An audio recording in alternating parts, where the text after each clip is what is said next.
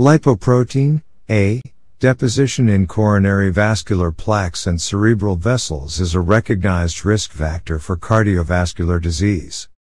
It is also said to function as a repair factor in vascular walls weakened by vitamin C deficiency.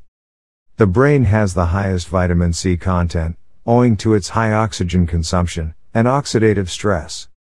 It has been shown that brain aging is accompanied by accumulated oxidative damage, which can lead to memory decline and neurological diseases. The purpose of this study was to emphasize the critical role of vitamin C in protecting brain health during aging. A transgenic mouse, Gulo, minus slash minus, LP, A plus, was used to study the key aspects of human metabolism when there is a lack of internal vitamin C synthesis, but there is production of human lipoprotein, A.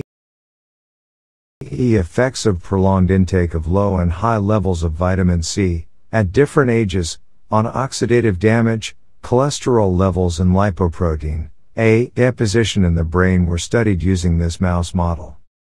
It was found that a long-term high vitamin C intake is important in maintaining brain cholesterol homeostasis and preventing oxidative damage in the study model as they age.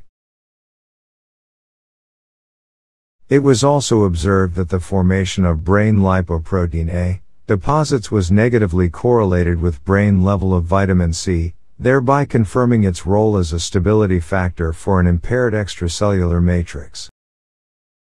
Our findings show that optimal vitamin C intake is important in protecting brain health throughout the normal aging process.